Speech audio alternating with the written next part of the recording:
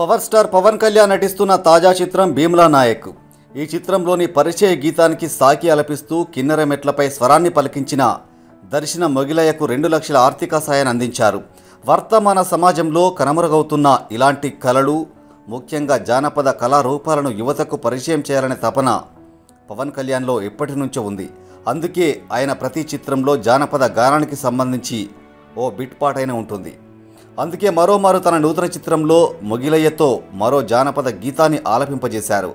ఆయనకు Pawan Kalyan learning centre for human excellence ద్వారా రెండు లక్షల రూపాయలు అందజేశారు.